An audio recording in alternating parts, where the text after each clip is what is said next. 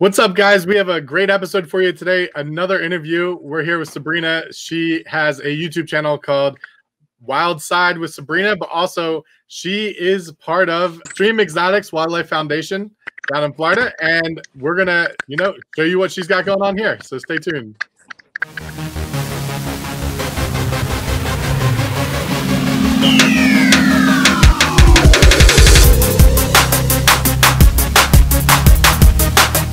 So we're gonna take you on a little tour of Xtreme Exotics Wildlife Foundation, and since it's out in the middle of a, a big area, it's hard to get great uh, cell phone service. So please bear with us on that. But for now, I'll go to the lemurs because they're a critically endangered species that we're super excited about, and uh, they're also very entertaining on camera. I'm into that. So while you walk, do you want to tell everybody what, uh, like, who you are a little bit and how you got started in all this? Sure. So uh, my name's Sabrina Clark, and I've always had animals, always rescued animals. It's always kind of been my thing. Um, but the last, I'd say, like five years, it's really grown into something I would have never imagined. So there's you know, I've always had like a lot of different reptiles, um, mostly like crocodilians and snakes, that kind of a thing. Um, but now really gotten into the mammals um, and really excited to be working with like some critically endangered species. And it's just what my passion is. I prefer animals over people always, always have, always will. Uh, and so it works, you know, it's something I'm really passionate about. I think a lot of people get exotic animals as pets and they don't know what they're getting into. So I started my YouTube channel um, with the hopes of getting the word out there that yes, there are some exotic animals that can be good pets, but there's a lot of them, like lemurs, that are not good pets uh, for the general public or even for professionals. So I work with these animals every day and I don't recommend them as pets. So that was kind of the goal. And then, of course, to bring in a little bit of a awareness to conservation because people always want to say, you know, oh, these animals should all be in the wild, but don't start that. but what people don't realize is there's not a lot of wild left for these animals to go back to in most places. So mm. don't start the yelling. Don't start the lemur yell. They're going to do the lemur yell and it's going to be really loud. It's way better than what we're saying. yeah.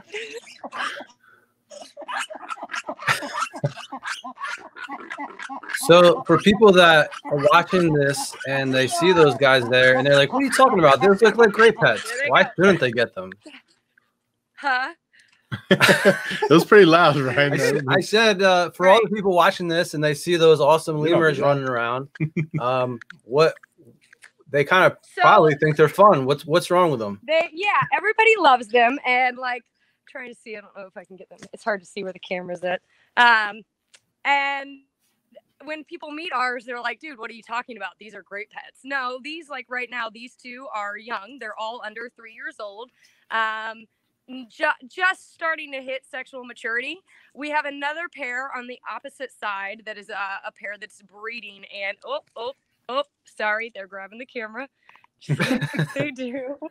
Hold on, let me get you back. um, and we can't even go in with the pair on the other side that is um, breeding because they are aggressive.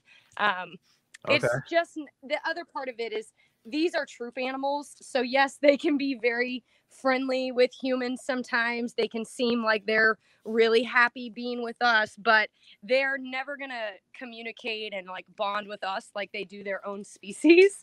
Um, and so it's something that I really try to speak out against is people that want to get one type of primate um, as a pet when really you need to have at least two because you're not going to spend 24 7 with them. And even if you do, you don't bond with them like they bond with their own kind. So that was kind of the goal of my channel and part of why we set the foundation up so people could come out and see how stinky lemurs are and how they can be aggressive when they get older uh, and how nasty their poop is and why you don't want one living in your house.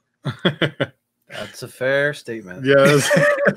I think I think uh, people see cute animals and they're like, "Oh, that can't be so bad," and then they they never really do the research. Oh, and think, the lemurs hung up on us. I think the lemurs hung up on us. so, Ryan, You know, we don't do a lot of videos just me and you anymore. We need to do more of that. I know we're not very interesting. Oh, here she comes. Great, Lemur, grab the phone. they got tired of hearing us already.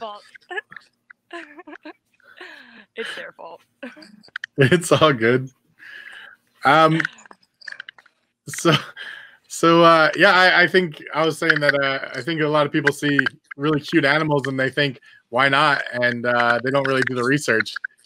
And if you don't like, you know, animals eating your hair, um, then right. probably it seems like yeah, handful. I mean, that's kind of what it is. It's and then the other part of it is, you know, I do a lot of educational shows for kids. I do school shows.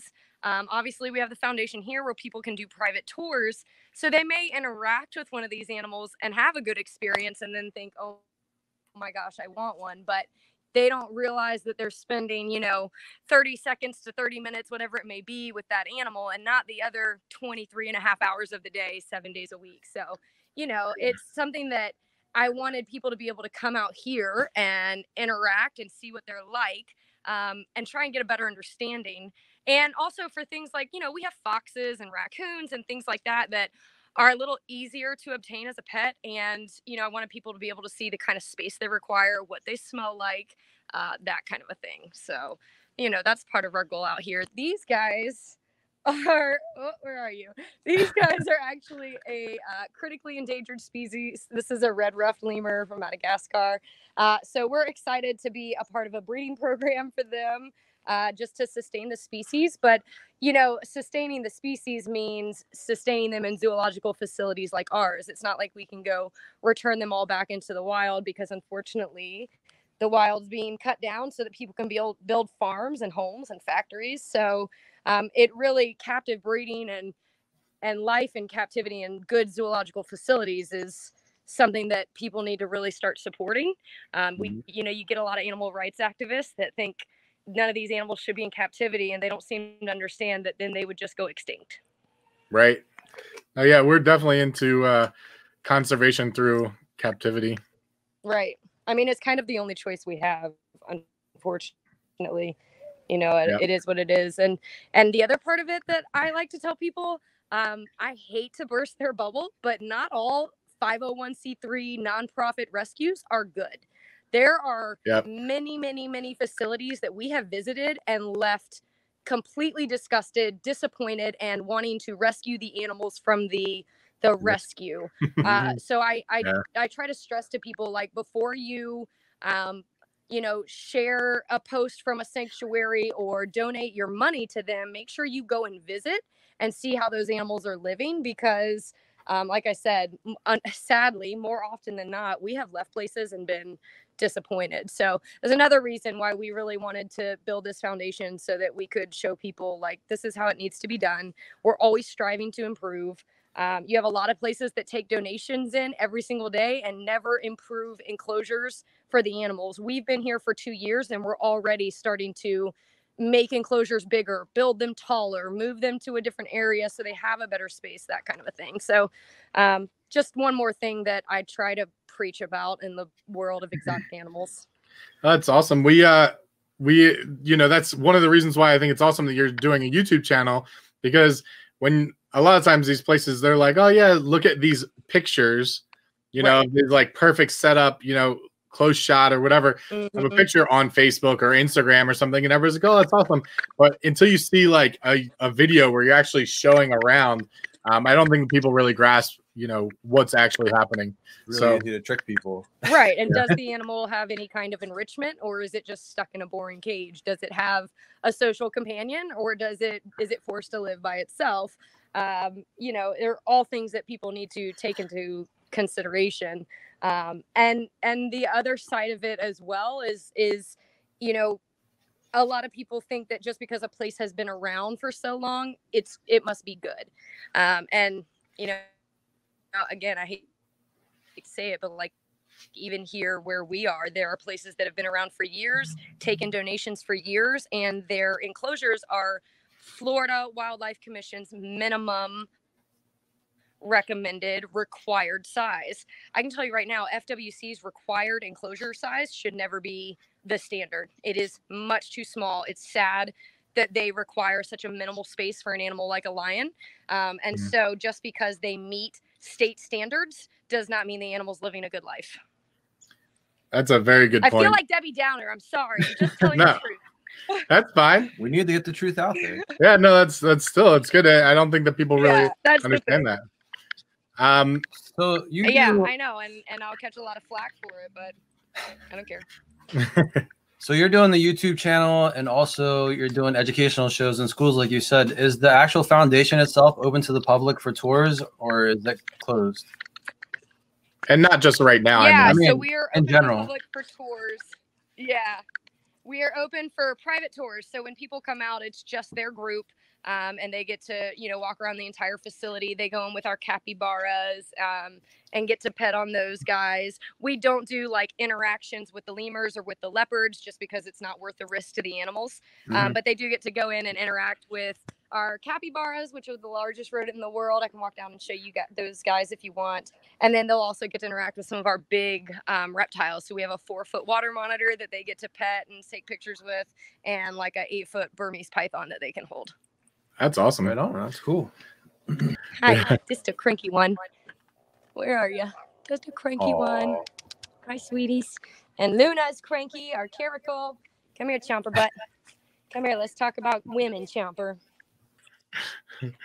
So, um, so Sabrina, uh, you seem to be super knowledgeable and you're, you're really passionate about your animals.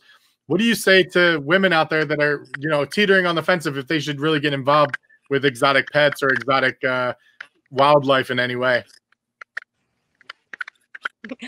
Um, I think that's a good question, and I will I will be honest with you, and um, you know, some of the guys might hate on me for it, but whatever. Um, I'll be honest that I think women probably have a little bit. Women probably, I think, can be a little better with it because there is a sense of like nurture. There's a a little bit more of like that loving mother type of figure.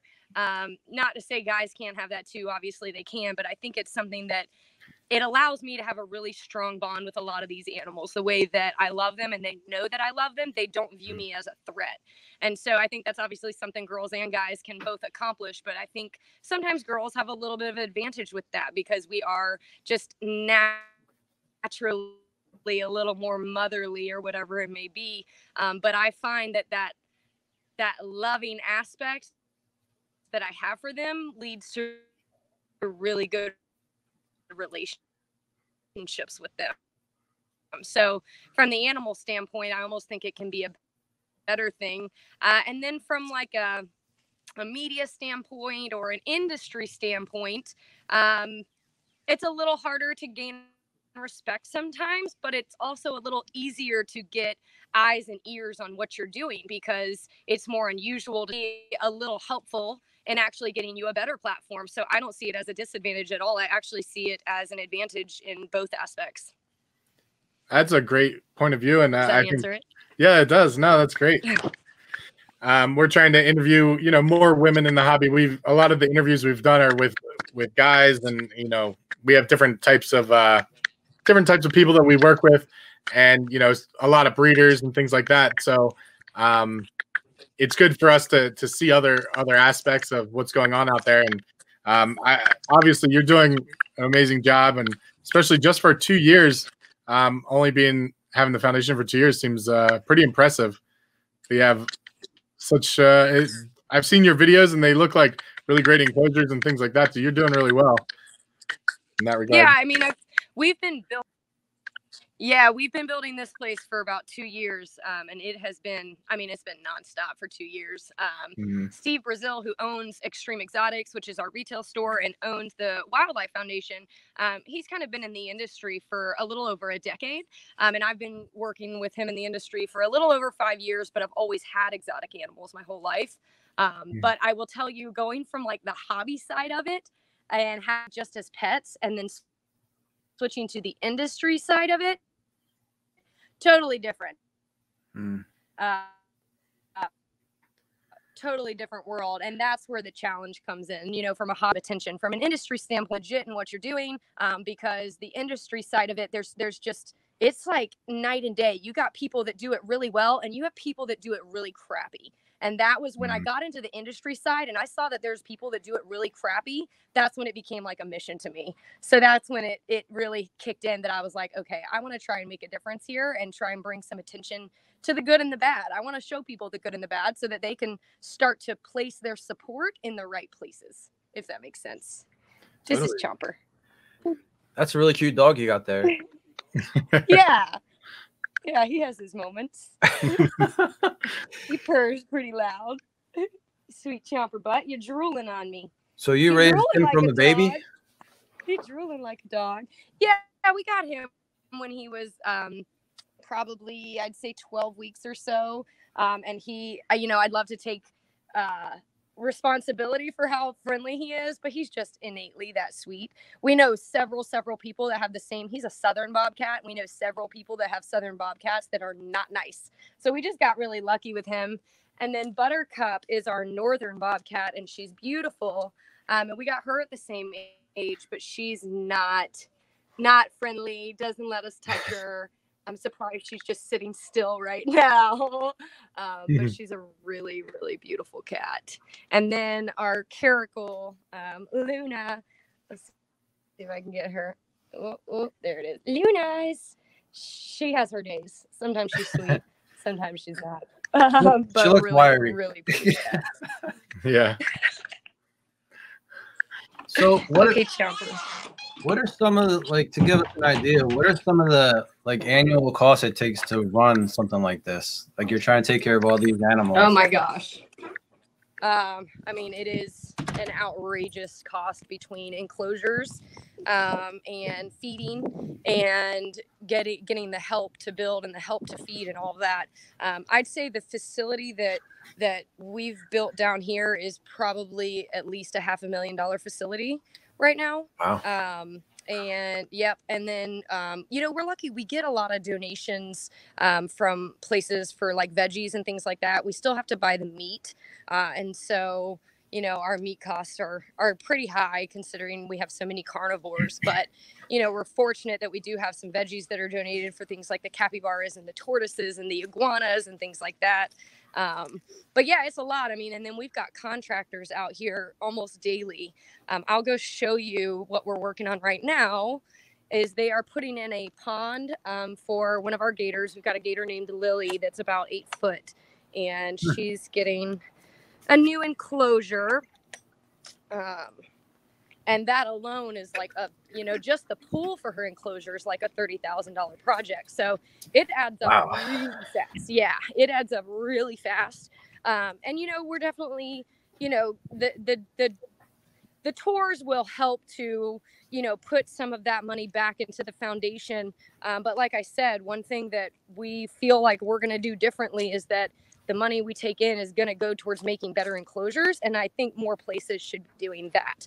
A lot of places take in um, donations for their bank account, you know, mm-hmm. and, and they do tours for their bank account. But you really need to be making a better life for the animals. Otherwise, why are you? Then you're doing it for the wrong reasons. If you're just doing it to show off and put money in your bank account, then you're not doing it for the right reasons, in my opinion. Um, this is the pool that's being put in. I don't know how much you can see of it. Yeah, um, that's pretty big. yeah, it's pretty big pool. Um, but she's a big gator, you know, and um, Steve has had her for many, many years. And so, you know, we want to give her a good setup to go along with, you know, it's it's like we got this place and we've been doing all these things. And so it's been great for everybody and we want it to be great for, you know, the animals that we've had for many years and we want it to be great for the animals that are yet to come. So um, yeah, I mean, there's always contractors and everything going on. It's definitely very, very, very expensive.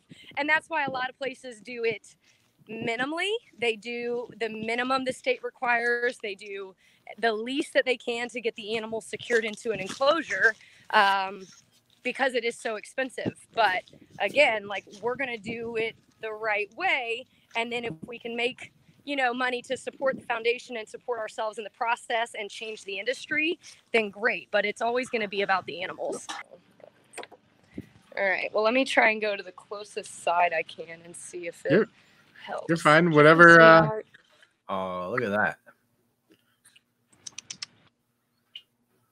Give me a ba- baby. So that's a see clouded leopard, right? Hi, sweet. Hi. Yeah, we've got two clouded leopard girls, um, and we have a male that we'll be getting in uh, about five or six weeks. Oh, he's the other one. Hi, sweet pea. Hi, gorgeous girl. I know, beautifuls. Um, so these guys are currently listed as a vulnerable species, um, which unfortunately means they're well on their way to becoming an endangered species. And they say there's less than 10,000 of them left in the wild. So this is probably the breeding program we're the most excited about. Um, Just because this is one that not a lot of facilities have. And it's kind of like I always kind of compare it to the ocelot. So if you think about it, when's the last time you saw an ocelot even in a zoological facility?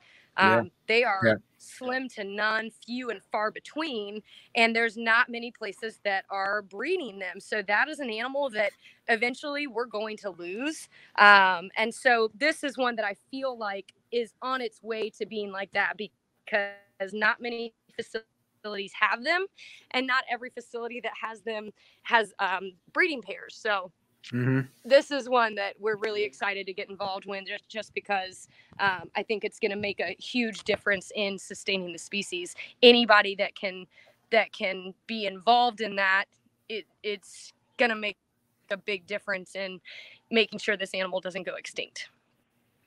So Wow. awesome. we've worked with um, we've been in touch with like a lot of the facilities that are really well known for breeding these because it's not easy it's very dangerous you have to pair them up at certain ages or you know the males will kill the females so it's a it's a whole process um, and it's something that we've really had to do a lot of research we've gone and toured a lot of places met with a lot of professionals on it and we're still you know working with them on a regular basis um, to try and make sure that we get a good breeding program going because apparently if you can get them paired up in breeding they'll be buddies for life. So we're really hoping we get buddies for life. Oh god. They seem like a lot of fun. they are a, a lot of fun. They are definitely a lot of fun. Um, they're a lot of work. I bet. and we've spent a lot of time with them in trying to teach them you know how to interact with people and how not to interact with people. Um, but they are they've blown us away with how sweet they are. They're super affectionate. Like you would never in a million years have expected it. Their personalities are just incredible. Yeah, I'm actually really surprised at how easily you can interact with them. oh they're sweet. They're love bugs Just like Oh. a house cat almost. It's, it'll. That's why people get tricked. They're like, "Yeah, man, I could have one of those in my house," and you're like, "Ah, well, exactly uh, yeah till it hits about 60 pounds and yeah." you know might have a bad day you know and i will say too like at nighttime they get wild because technically they're nocturnal Oop, we're coming up over here um and at nighttime they get wild and they're too much like they're Yeah. You know they want to play but they play rough and like the claws come out not in a mean way but just even in a play way they're super difficult to be around when they're hyper um, you can end up bleeding just from them wanting to play and love on you so yeah it's definitely another situation where it's like oh that's cute and it's like yeah it's cute right now for about 30 seconds Mhm, uh, come back in four hours and tell me how cute it is right. That's awesome. yeah, it only take uh, one bad uh, time with them to. Day. um, and the other part is that they uh they have the largest teeth like proportionately for their size in the cat world. So they've actually been called like the modern day saber-toothed tiger because of the way their teeth are shaped and how they're placed. Um, so they are definitely no joke really long tail. They're they're super dangerous animal as adults and if you can see if i can get her to show us how big her paw is. No you don't want to sit still. Oh can we see how big your paws are Oh, wow. yeah Oh, no. no. Hey, Hey. we're back. So I do have a flip option. I can flip this around. Ah, see Ah. that? See, after your 10th or 20th uh, interview with us, you're going to be like, this will be like night and day. I'll be a pro. Yeah. yeah. yeah. So, What- what are these guys' native range? So Southeast Asia, China, And I guess uh, is hunting an issue or is it just deforestation? Yeah, so it's a little of both. Deforestation huge issue, and what most people don't realize is that deforestation is mostly due to people wanting to build farms. So you know, of course, we all love farms. That's where our food comes from, and that kind of a thing. Um, but farms are the reason that a lot of native animals are losing their homes. Um, the other part of it is poaching. Um, they do have incredible fur. And so there's always, you know, even in places that are like, if you think about in Africa and all the reserves they have, and they still have poaching problems, mm-hmm. um, unfortunately, even like a natural reserve is not always a safe place for these animals. So, you know, these guys were actually thought to be completely extinct in Thailand. I think they spotted one back in like 2013. Um, but they're they're just slim to none. I don't know, you know, that these are really being spotted in the wild anymore. So, and they're not very common in, in captive facilities either. So that's why it's so important, you know, to really get a grip on this species in particular. Gotcha. So, um, wow. Yeah, it's I'm just I'm sorry we should be talking, but I'm just staring at the cats. they're incredible. No, dude, they're awesome. incredible. They're absolutely stunning. Let me flip, we'll, flip it around. We'll definitely have to uh there we go. Once all this uh, stuff is over, we're gonna have to come over and visit at some point and just like, dude, it's show it up. It, I promise. I would love to get a proper 4K tour on the on uh, your facility. yeah, facility, because man, like this is. I'm sure this is showing nothing compared to what you guys got going on. I mean, I've seen your videos, so. Yeah, I mean, that I was gonna say, there's you know so much. I can walk you around and show you more of the stuff. I know you guys are on a time limit, um, yeah. but that it, it's definitely definitely, you know, something that I think is worth people coming to see because we've been to a few facilities that were just like they blow us out of the water, and so we're constantly trying to improve. Um, but I would love for you guys to come and see it just because you know this is what we do all day every day. It's a lot of work, so we're hoping that people really will understand why it's so important to us. It's really awesome that you guys have this drive to like you know keep improving and building upon, and you know like we are talking about earlier, instead of squirreling money away for you know, whatever, you're just dumping it back into the animals you love. So that's amazing. Right. Yeah, exactly. I mean, that's like, that's where all our money goes, anyways, is, to the animals. Um, and so now having this place and, and being able to have people come out and do tours, it's just going to allow us to do better and better and better. Um, and I think that's what's important is, you know, there's a lot of people that, like I said, support facilities that aren't always trying to do better. So, you know, I don't care where their money goes. If it goes to us, if it goes to somebody else, they just need to make sure it's going to something better. Mm-hmm. Wow. Well, we'll make sure to uh, link up everything on here so that we can get some uh, money flowing to you if we can help in any way. Yeah. So cool. Yeah, I appreciate it. I'd say the only other thing that I like to recommend to people is like if you think you want a pet monkey or you know a pet this a pet that go somewhere that has an adult version of that animal uh, and spend weeks working with them that's the only way you're going to really know what you're getting yourself into and it's the only way to make sure that you don't get an mm-hmm. animal that ends up having to go to a sanctuary, a rescue, somewhere mm-hmm. like us, or a place that you think is good and is not, and you think you did something good for the animal by sending them to a rescue, and you don't realize that it's just living in a little tiny cage by itself. Um, yeah. So, you know, it's just all about research and really being involved, and just don't get a little baby animal because it's cute. It's a fine idea. Talk to somebody who's had one for 10 years and ask them how many times it sent them to the emergency room. Yeah. I always tell people like you see people all the time post a picture with a cute little baby monkey. How many times have you seen somebody post a picture with their 10, 20, 30, 50 year old monkey? You know, a lot. these animals live a long time and all you ever see people post are babies. There's a reason for that. Mm-hmm. Where are all the adults?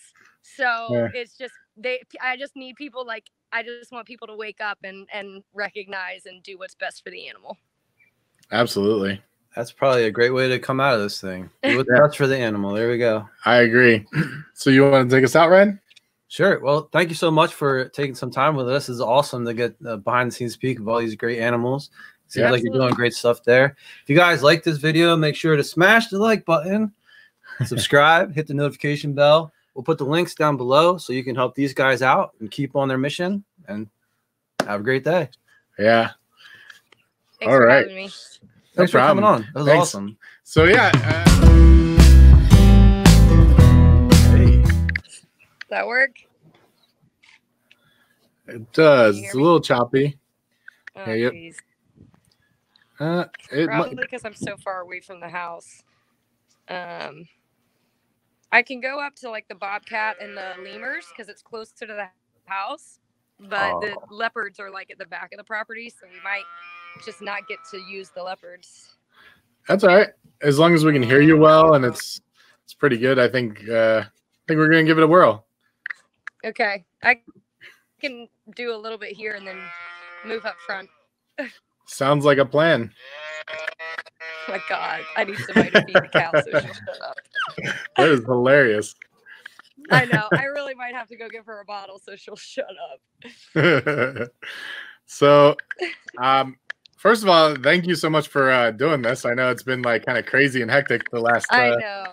week and stuff. So, Oh, I appreciate you having me on. I'm sorry. It's been hard to get on. It's quite all right. That cat sounds weird.